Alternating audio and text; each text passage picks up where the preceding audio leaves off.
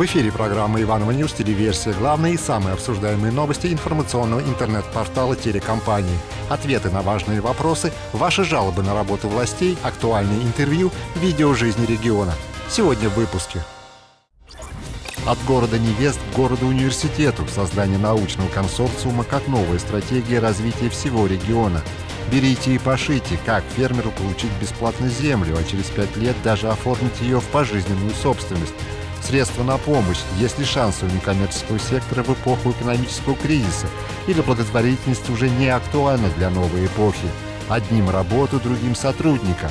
Headhunter спешит на помощь и подписывает соглашение с Ивановской областью. Индивидуальные предприниматели и граждане, работающие по патенту, получают шанс на продление налоговых каникул. Сейчас нулевая налоговая ставка для бизнеса, который впервые начал свою деятельность в научной, производственной или в социальной сферах по патенту либо в форме ИП, действует два года – Новый законопроект предполагает, чтобы эта мера была продлена до конца следующего года. Инициатива уже внесена губернатором в региональный парламент, а сам Станислав Воскресенский объясняет это необходимостью создания условий, чтобы люди занимались, трудились кто-то на своих местах, на предприятиях, а кто чувствует в себе силы, занимался бы предпринимательством и начинал свое дело. Пятая волна ковида практически сошла на нет. Теперь единственное место, куда отправляют больных, это новый госпиталь. Все прошлые больницы функционируют по привычному профилю. Последний расстался со своими коронавирусными пациентами кардиологический диспансер.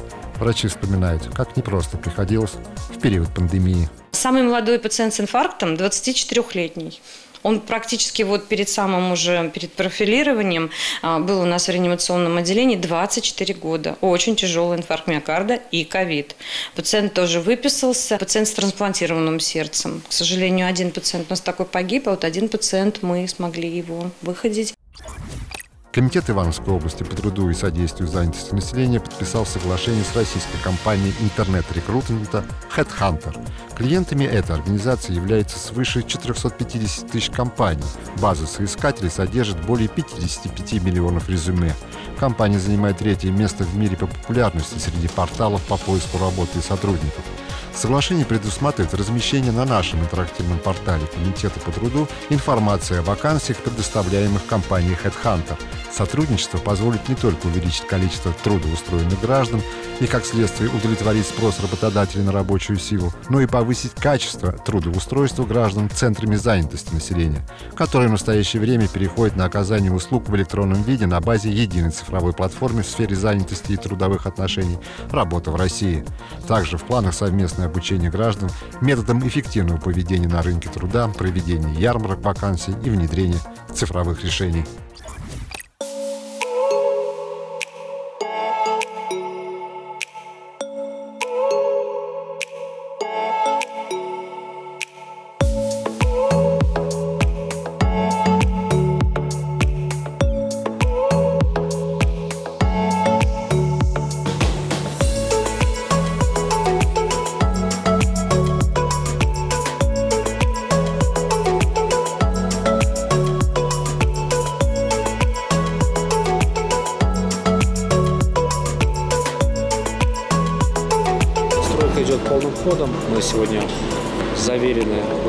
Строителями, что вот эта вся санкционная история, она не давит на темпы ввода объекта в эксплуатацию. Там осталось буквально несколько месяцев. Как обычно, сделаем общественную приемку вместе со спортсменами.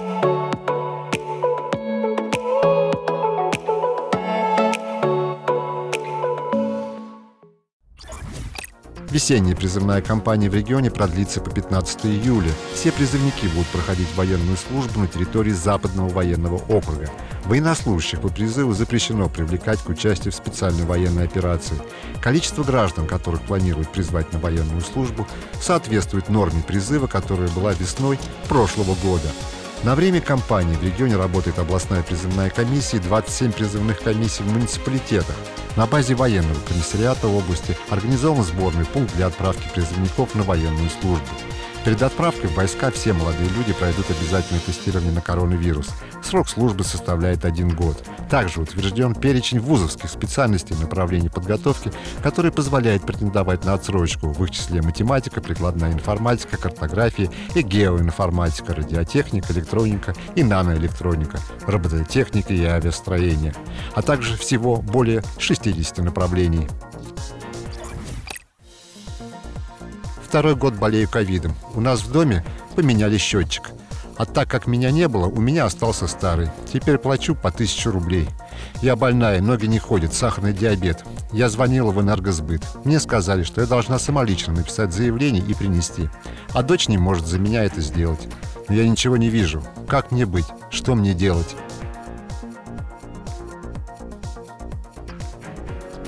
Фурманов, Мичурина, 13. Сделали мусорку. Контейнеры стояли на плитах. Плиты сняли, контейнеры поставили. Плиты и спиленные деревья валяются до сих пор.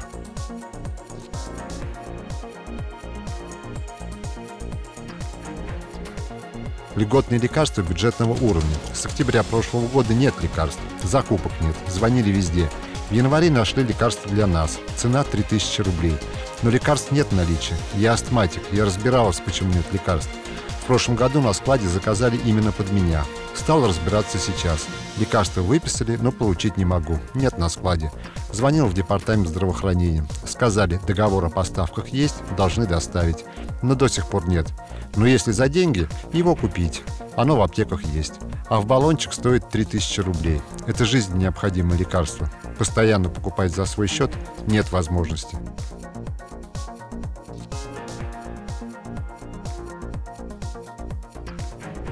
Улица Ленинградская напротив детского центра. Весь тротуар завален снежными сугробами. Трактор расчистил только половину тротуара. Учиш возмущает осенне-весенняя подрезка деревьев. Их спиливают до пеньков. Какие-то возрождаются, а какие-то нет. Спиливают липы, березы. Около 15 деревьев спилены по ошибке. Как работает обратная связь? Вы можете позвонить нам по телефону 58 77 77. Операторы колл-центра передадут нам ваше сообщение. Вы можете написать нам через мессенджеры Viber, WhatsApp и Telegram. Сообщением на телефон 8 962 162 58 77 или написать нам на сайт ivanovanews.ru в разделе «Контакты». Уже два года в Ивановской области работает закон, который дает возможность личным подворьям и крестьянским фермерским хозяйствам получить от 2 до 100 гектаров земли сельхозназначения в безвозмездное пользование на срок до 6 лет. Для этого фермеры подают заявки о выделении участка земли владельцу. Это либо в район, либо в поселение. В местных средствах массовой информации размещается информация о том, что данный участок будет передаваться в безвозмездное пользование. Если за месяц не поступает заявок от других желающих на этот участок, то подписывается договор о передаче в безвозмездное пользование. Если после этого земля в течение пяти лет используется по назначению для сельхозпроизводства, то по желанию фермера подписывается договор о бесплатной передаче этого участка уже в собственность навсегда.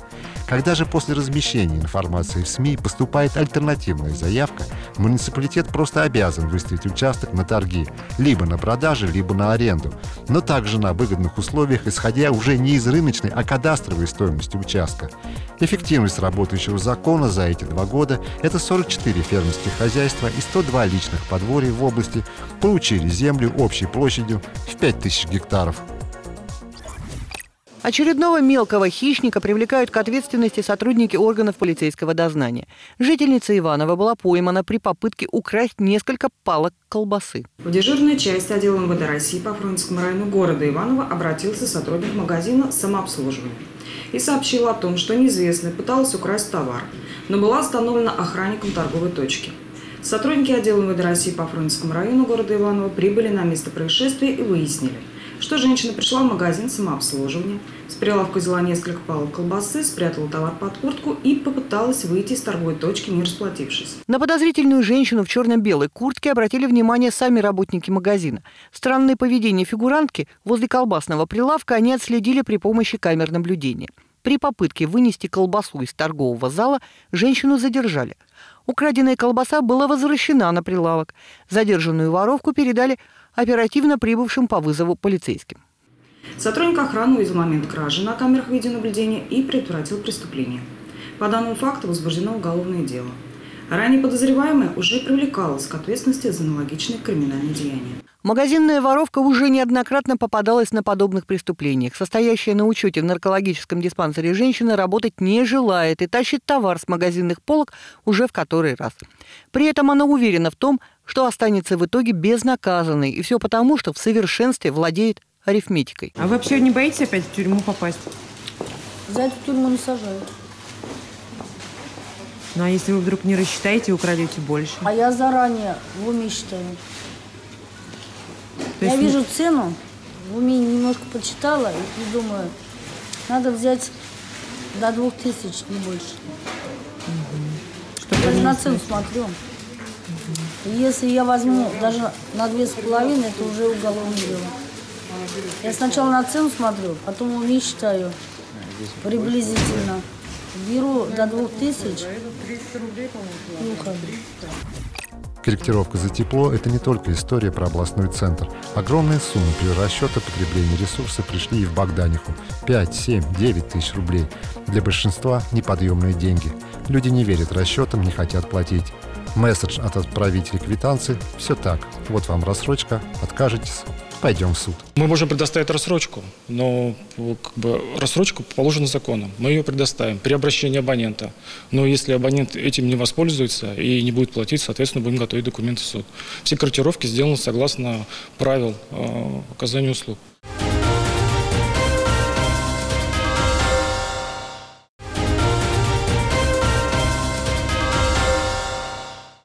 В регионе создадут научно-образовательный консорциум Иванова. В состав объединения войдут все ивановские вузы, а также Институт химии растворов и НИИ материнства и детства. Вся идея для усиления глобальной конкурентоспособности российской науки и высшего образования, развития города Иванова как города-университета, а также создание на территории Ивановской области уникальной научно-образовательной, технико-внедренческой и креативной среды.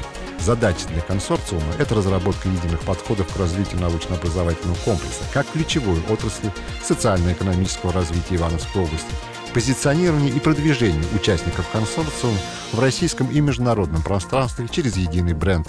Ну а ключевой целью является создание межвузовского кампуса Иванова. По данным Федерального штаба по борьбе с новой коронавирусной инфекцией, по состоянию на 6 апреля в Ивановской области за последние сутки коронавирусная инфекция обнаружена у 134 человек, госпитализировано 28 человек, выздоровели 94. Всего за все время пандемии в Ивановской области умерли 3036 человек. Три новых летальных случая подтверждены за последний день. В стране за прошедшие сутки заразились коронавирусом 14 661 человек. Умер за сутки в России 291 пациент. С какого возраста человек считается предпенсионером и какие меры социальной поддержки для него предусмотрены? Граждане приобретают э, статус предпенсионера э, до, э, за 5 лет до достижения нового пенсионного возраста с учетом переходного периода. То есть в 2020 году предпенсионерами у нас стали женщины в возрасте 52 года и старше и мужчины в возрасте 57 лет и старше до назначения им пенсии. Исключение составляют только налоговые льготы, которые предоставляются э, женщинам по достижении 55 лет, а мужчинам э, по достижении 60 лет. Какие же льготы предоставляются предпенсионерам? В основном это льготы федерального значения – Э, налоговые льготы – это налог на имущество и на землю, э, налог э, по закону о занятости – это выплата пособия по безработице в повышенном размере, и льгота, которая предоставляется по Трудовому кодексу, ее предоставляют работодатели. Это два дня, дополнительных два дня на, диспансери... на прохождение диспансеризации с сохранением заработной платы. Э, очень важно, что для получения э, права на эти льготы, то есть для подтверждения статуса предпенсионера, гражданам э, не обязательно, то есть им не нужно обращаться именно в пенсионный фонд. Им следует обратиться в то ведомство, которое предоставляет данную льготу, и уже это ведомство само сделает запрос по электронным каналам связи в пенсионный фонд. Э, если э, гражданин э, желает, то он может также получить эту информацию в личном кабинете на сайте Пенсионного фонда, либо в многофункциональном центре предоставления государственных услуг. Проспект Строителей, дом 16. На улице тепло, в квартире 27 градусов. Звонил в управляющую компанию «Дворянка», но они ничего не делают. А потом перерасчет пришлют.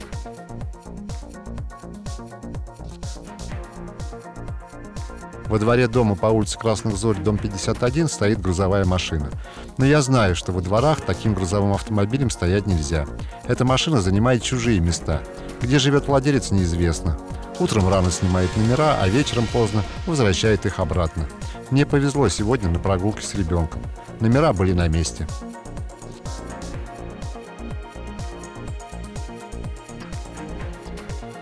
Посещаю часто торговый центр Евроленд. Раньше там были скамейки, можно было отдохнуть. Сейчас все убрали. Администратор центра сказал, что ставить негде. Но этими скамейками не только пожилые люди пользовались, но и молодежь.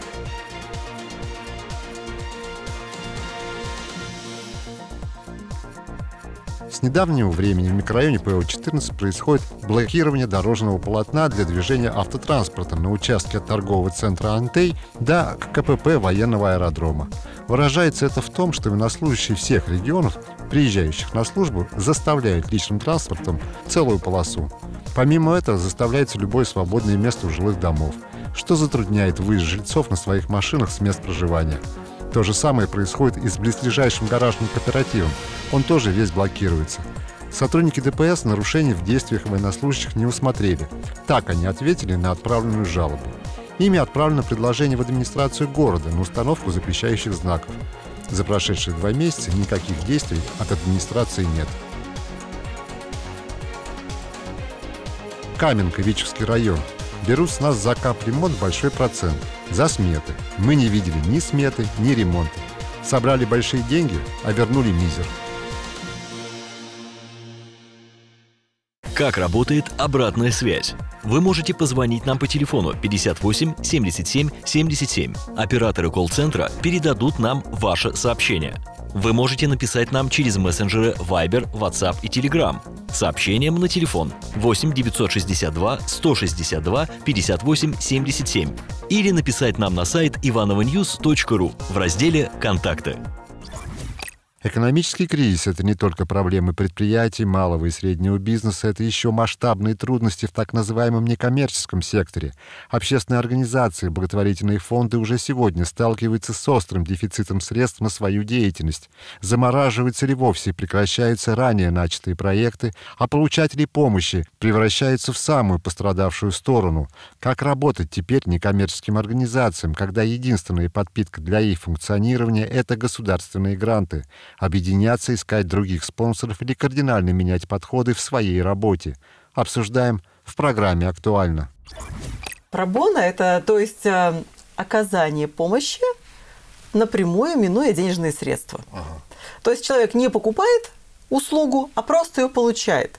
То есть обращается, какая у нас оказалась самая востребованная услуга? Это услуга э, волонтерская, то есть, что пришел человек и помог, физически помог доехать, дойти, донести, э, до поликлиники добраться, там, записаться на прием какие-то. И сейчас цифровизация очень такая серьезная, люди не успевают за ней.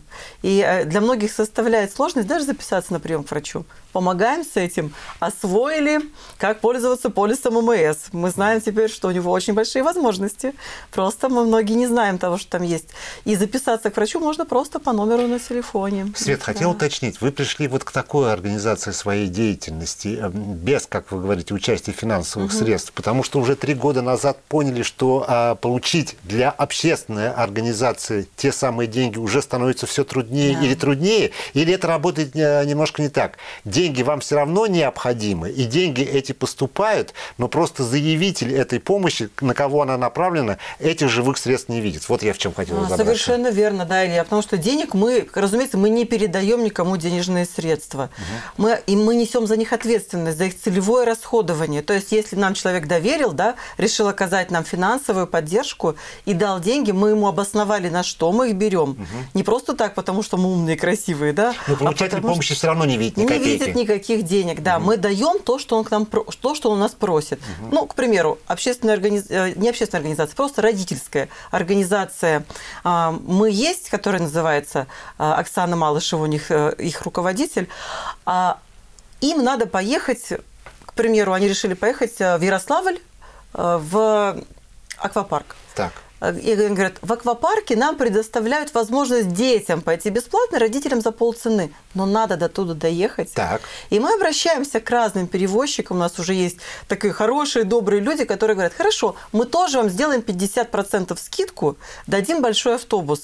И вот здесь возникает вопрос, где взять 50% денежных средств?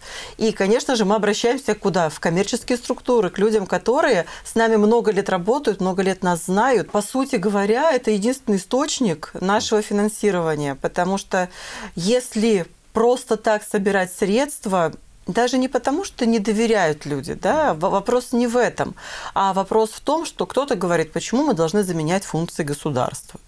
Почему мы должны там собирать кому-то на лечение, да, там э, мы раньше ведь собирали, организовывали сбор средств на лечение детей, на операцию, на реабилитацию детей, послеоперационную. Сейчас это гораздо сложнее. А вот э, что касается улучшения жизни вообще, вот, как это ни странно, досуг – это ведь то, что нам дает положительные эмоции. Вот, говорю, честь и хвала нашему театру, например, музыкальному, всегда идут на то, чтобы предоставить бесплатно контрамарки, и даже дают их определенное количество, говорят, вот там 20 человек, например, от вашей организации круглый год могут ходить, но только не в премьерный показ, да, на последующие показы любого спектакля, который у нас организуется нашей Ивановской мускомедией. И с удовольствием люди ходят, потому что говорят, пойти сейчас купить даже 300-500 рублей – это большие деньги уже не могут обещать люди. Они говорят, если вдруг, то есть если раньше говорили, как, если у нас получится, а теперь уже есть оговорка, если вдруг у нас получится. Очень хотелось бы больше помощи оказывать. Пока есть энтузиазм у нас, да, пока есть э, доверие людей, и мы его оправдываем, э, которые с нами работают. И надо сказать, что несмотря на то, что есть вот э, по уставу любой некоммерческой организации, особенно общественной организации, там есть возможность э, оплачивать, да, вести хозяйственную деятельность за счет пожертвованных средств. Так вот, э, за все существование нашей организации мы ни разу их не снимали э, и никогда не пользовались этой возможностью. Мы еще сами свои добавляем. Как вы думаете, вот это четыре сотни, они через год, через два, через три, в какую цифру приблизительно превратятся? Вы знаете, мне кажется, что и сейчас их как минимум раз в 20 меньше реально работающих. Вот те, которые работают. Это можно посмотреть, в принципе, на сайте юстиции, да, тогда, когда сдаются. Вот 1 апреля сейчас будет а, последний срок подачи отчета в юстицию о ведении деятельности. И можно там в самом деле посмотреть, кто и что делает. А Мы когда писали отчет, у нас там больше 16 пунктов. То есть, несмотря на то, что сложные ковидные годы, и достаточно тяжело было в них вообще что бы то ни было делать, но мы ум- умудрились провести, то есть у нас это больше одного мероприятия в месяц. А для того, что надо понять, что одно мероприятие, оно требует подготовки иногда не одной недели, для того, чтобы оно вообще случилось. И можно увидеть, что очень немногие организации сдают отчеты в виде хотя бы нескольких пунктов. разочаровываются в своей же собственной идее или действительно, не видя, как, может быть, предполагали, каких-то конкретных средств на свое функционирование, просто бросают эту работу. Находите вот это объяснение? А, Возможно, да. Или цели создания были далеки, А, скажем, и- от благотворительной и- и это- деятельности? я думаю, что все, можно все, кто не работают, предположить, что там и цели создания были иными, и они не оправдали да, усилий, которые были вложены. И возможно, что и сложности, с которыми столкнулись, решили больше не утруждать себя, да, чем бы то ни было. А потом законодательство, оно жестче стало, надо тоже этот э, момент учитывать, да, отчетность, которую необходимо своевременно сдавать. После весенних каникул в школах Ивановской области отменено каскадное расписание. Решение принято региональным оперативным штабом в соответствии с санитарно-эпидемиологическими правилами Роспотребнадзора. С 4 апреля школьники с 5 по 11 классы, а также студенты колледжей учатся по обычному расписанию. За каждым классом больше не закреплены отдельные кабинеты. Посещение школьных столовых по отдельному для каждого класса графику также отменено. Ранее в условиях распространения коронавирусной инфекции контакты между классами необходимо было минимизировать, поэтому действовали особые регламенты. Сегодня уже нет классов, закрытых на карантин по ковиду или сезонным заболеваниям. При этом в случае ухудшения эпидемиологической обстановки в регионе правила эпидбезопасности могут быть возвращены в образовательные организации. Также до 100% увеличена заполняемость организации отдыха и оздоровления детей. Ранее же в лагерях можно было заполнять лишь 75% мест от проектной вместимости.